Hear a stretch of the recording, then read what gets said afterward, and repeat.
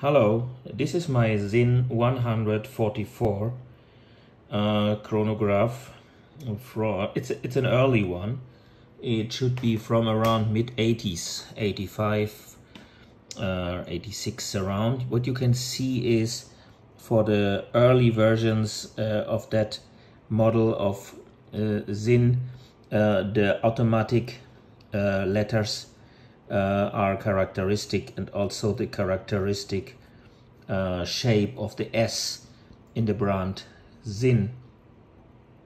A part of that, um, the early versions have not this protection here on the side of that uh, buttons here and uh, yeah these are generally the uh, designs for an early model from the 80s. I think it was, uh, this should be one of the first, uh, one of the first models of the Sinn 144. Um, this uh, watch, a part of these uh, aspects, is uh, built until now in uh, the same shape, same size, just the bracelet changed. This one is, uh, as I know, the first bracelet which was used for the Sinn chronograph. Uh, it is the Expandro uh, bracelet, uh, and the Expandro bracelet, this one is an original, very early one. Uh, because what you say, what you can see here, wait, let me, let me see if I find it. Um, Expandro made in West Germany, this means definitely uh, that it was produced before 1990. So it should be uh, original from this uh, early model. However, this bracelet I bought uh, in a in a forum, watch uh, lovers forum, uh, to add it to the watch because the watch when I when I bought that around four or five years ago came with the titanium bracelet of the Sinn 152, uh, which from the color of the silver does not really fit good. Uh, this is a steel, stainless steel watch and the titanium is a little bit grayish. Uh, so the difference between the um, the color was disturbing me. So I sold this titanium bracelet. It was this uh, early bracelet. I sold it and then I had it with a leather band, which also looks quite good. But then I uh, added this original Expandro bracelet for this wonderful watch. Now, the quality feeling of these early bracelets is uh, not as we are accustomed nowadays. Uh, it is very lightweight and uh, but on the other side it is very com uh, comfortable. Uh, you have a fast adjustment of the bracelet uh, and uh, you have this uh, um, this feather here which allows you um, to adapt the bracelet to the size of the arm now, the issue with that watch, and that is why I will sell it, I had three Sinn uh, chronographs, 100, uh, 100, 142. I already sold that. Uh, I will make a movie later. Uh, then one another 144, which was in excellent condition, and also I sold that, and that one I kept because exactly because it has a lot of rocked down marks on the um, case you see that? And uh, if you see my other videos then you know that I hate uh, refurbished polished um, made up watches. So I really like if you see the life of a watch. This watch was obviously worn and was obviously loved by the owner of, of it. And um, so I like that. So I like that because it's a sort of a tool watch and I thought it would fit. The glass I replaced uh, around uh, uh, around three years ago, uh, same as the the crown. uh, was also replaced in a Sinn condition, uh, concessionary um, repair and also the um, this door in inside the I have no actually technically I have no idea in the in in the movement which which leads from the ground to the movement was replaced in German uh, it's the Welle.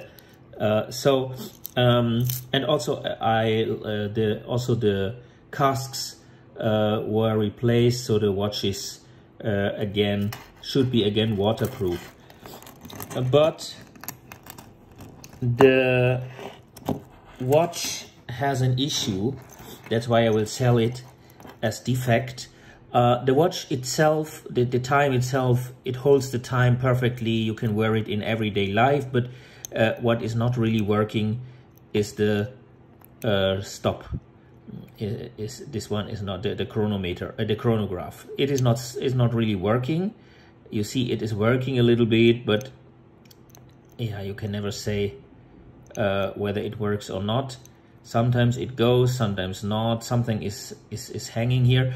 And uh, the issue with that is uh, that the zero position is fine. The issue is if you use it if you press this upper button uh, then also the second hand is stopping. So the the whole movement is stopped uh, if you use this.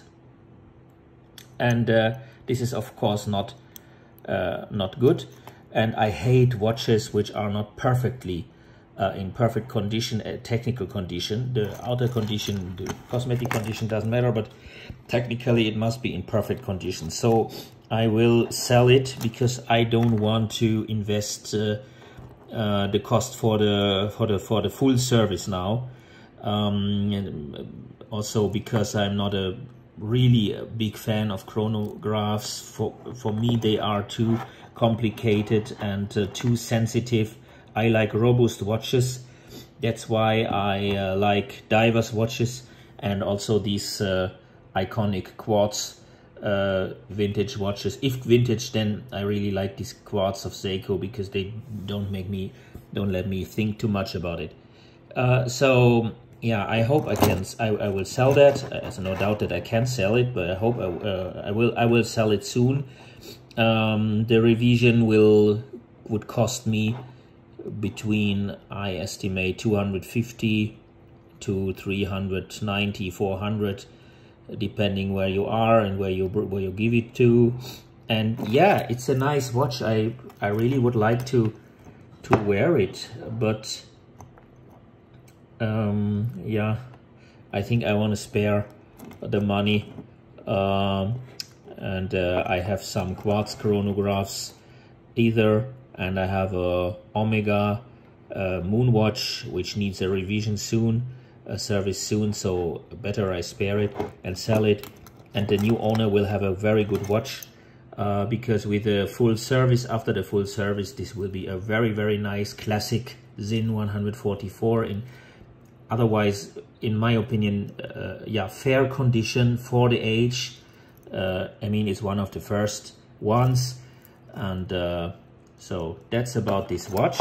Maybe uh, for, uh, at, for the end, I show you how it is on the arm.